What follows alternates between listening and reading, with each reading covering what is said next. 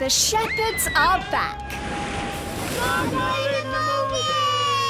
And life in Essex is as busy as ever. As the Shepherds navigate Go on, Greg. It rains. the highs Margot's going swimming. and the lows, Where, where's it hurt? juggling a family of five. Because we've got a childcare issue, I'm all out of options. I'll fly the flag. I've worked the red carpet.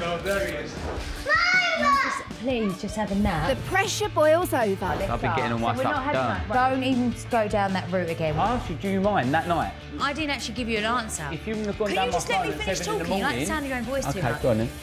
But as they make new memories, the family bond grows even stronger.